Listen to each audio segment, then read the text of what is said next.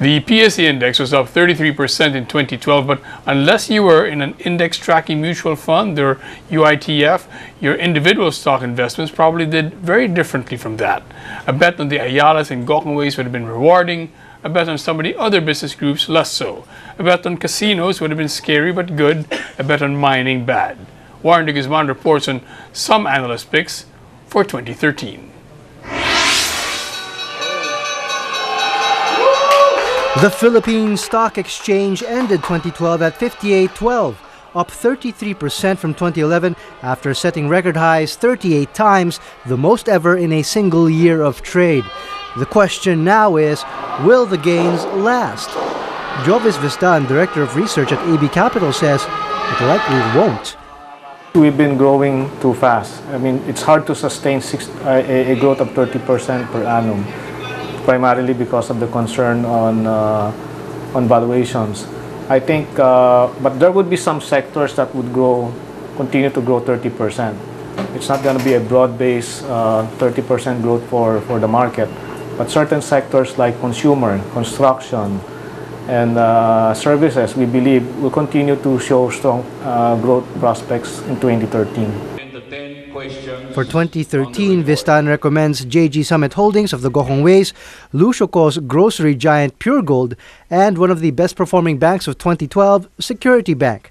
Security Bank helped the financial subindex outperform the rest of the market this year alongside property, both rising over 50% better than the main index. The primary reason for that? Low interest rates, with four rate cuts by the Bangko Sentral lowering financing costs to a record low of 3.5%.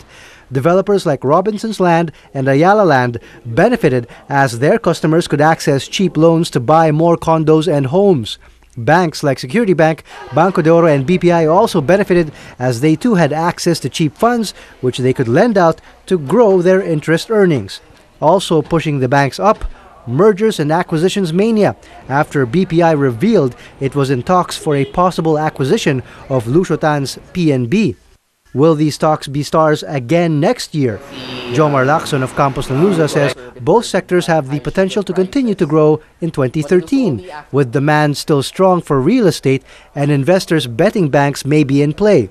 But he says the key to the market will be monetary policy. What's critical is that we should understand monetary policy, where it's where the direction is. I think that will dictate uh, the performance of the entire market. So whether or not you're in property or in, in banking, you will be affected by that. So at this point, there's no indication uh, that the central bank is going to reverse or to tighten monetary policy. In fact, chances are they're going to continue to um, uh, relax it as, some, as a way to manage the strong currency. Lacson recommends companies with strong potential to see good news next year. He picked Philex Mining, which should benefit from progress in its exploration activities and mining legislation. And Holcim, as both government and the private sector plans to continue to build infrastructure next year. April Lee Tan, head of research at COL Financial, also says the likelihood of a rate hike next year is very small, but agrees the BSP's policy will be critical for the market. Admittedly, you know, inflation could pick up. But I think if ever inflation does go up, it's going to be externally driven. Uh, let's say there's a supply shock or commodity prices go up, you know. But um, that said, I mean, knowing the the central bank, if the inflation goes up just because commodity prices went up, I don't think that they will increase interest rates because you're actually not helping the economy.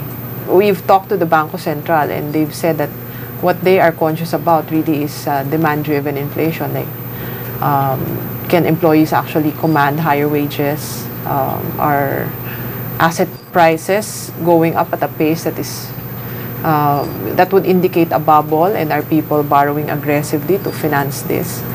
Um, at this point in time, they have not seen it. Tan picked two banks as must-haves for 2013, as well as Meralco, a good barometer for economic activity given that it supplies power to the nation's capital. Another challenge to overcome, high prices.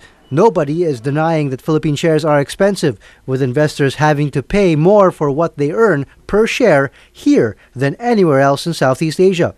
But Mark Angeles, head of research at First Metro Security, says investors did not mind prices this year and they won't mind them next year, especially foreign investors who can borrow cheaply as their governments lower interest rates to spur their economies and will be looking for high yielding assets in emerging and healthier economies.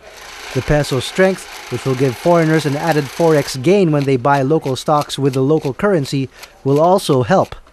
We see the growth continue in 2013, but it's priced in.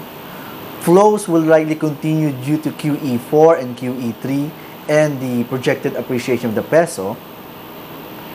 And bond yields to remain low as well too. So we have all those three things going on for the Philippine equity markets.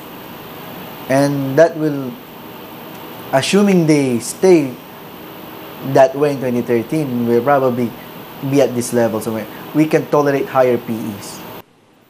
Angeles picked the nation's biggest conglomerates for 2013, SM Investments and Ayala Corporation, and the most valuable Filipino company at the stock market, PLDT. He says it's all about picking stocks that are best positioned to benefit from our strong economy. Warren de Guzman, ABS-CBN News.